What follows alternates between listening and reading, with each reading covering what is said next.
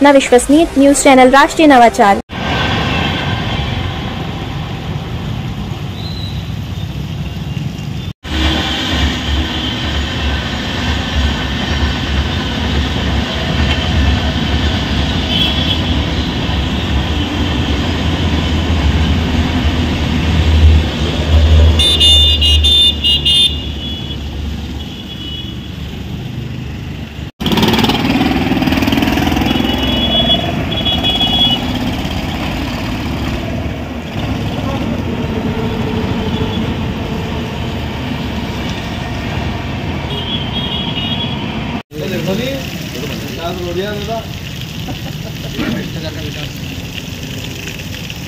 बनाली बनाली video photo तो खींचेगा दो मोबाइल एक खड़े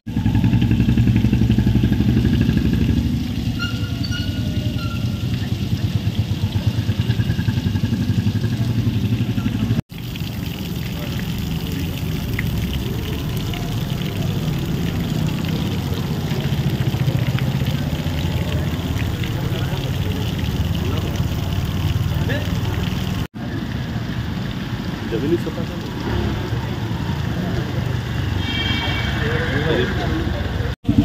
ये पटरी पाल लोगों के लिए झरना बनाया है।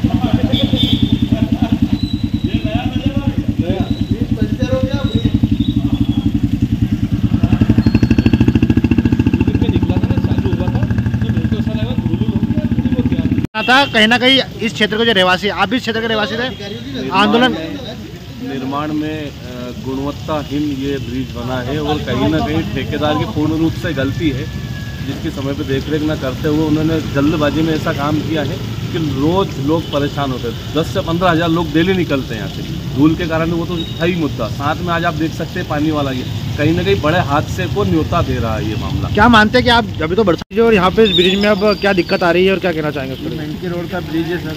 यहाँ पे गुणवत्ता नाम की कोई भी चीज़ नहीं दिखी। मेरे को तो ऐसा बना दिया बिल्कुल धूप धूपा टाइप बना दिया ऐसा ऐसा टर्न दिया है कि कोई उधर से आए एकदम तो ऐसा एक्सीडेंट हो जाए। अच्छा आज क्या यहाँ पे? ब्रिज में क्या हो रहा है? आज तो ये पानी ने ये बता दिया है कि सारा क्वालिटी खराब है सर पानी चू रहा आसपास से।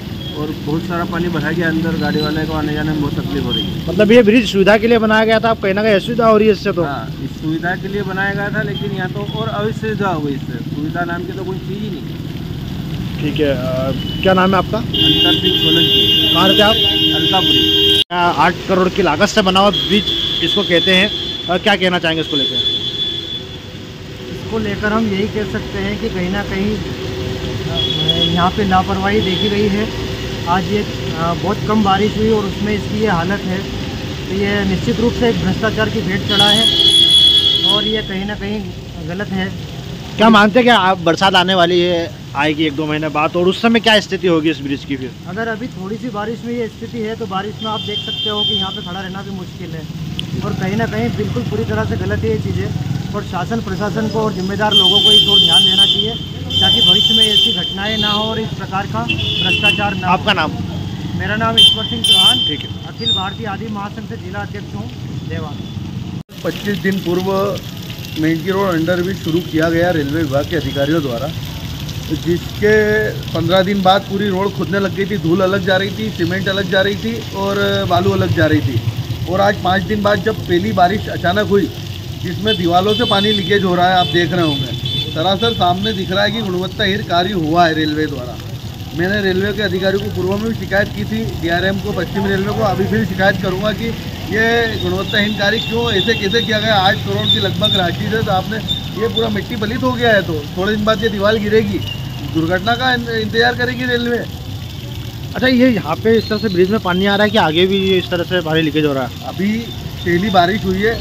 बारिश अगर तेज होगी तो आगे भी होगा और इस हिसाब से तो ये दुर्घटनाग्रस्त हो सकता है। दीवार भी गिर सकती है क्योंकि इसमें नकली सीमेंट का उपयोग मैंने पहले भी अधिकारियों से शिकायत की है कि पूरे रोड में और दीवारों में नकली सीमेंट का उपयोग किया गया है परंतु अधिकारी सुनने को तैयार नहीं है। पूरे रोड में गड्ढे हो चुके हैं आप आगे जाके देखेंगे तो बीच में पानी भरा चुका है। अच्छा इसकी शिकायत अभी आप कहाँ करेंगे और अभी आप रेलवे डीआरएम को करूँगा रतलाम अभी किसी- रेलवे को करूँगा मेल द्वारा ट्विटर द्वारा। अभी किसी अधिकारी को आपने फ़ोन लगाया इसके लिए? मेरे जो वीडियोस हो रही है ट्विटर द्वारा टेक किए हैं रतलाम डीआरएम को और पश्चिमी रेलवे को।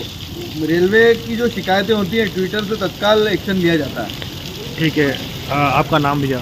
राहुल पवार पार्षद एवं नेता प्रतिपक्ष प्रतिनिधि देवास नगर निगम।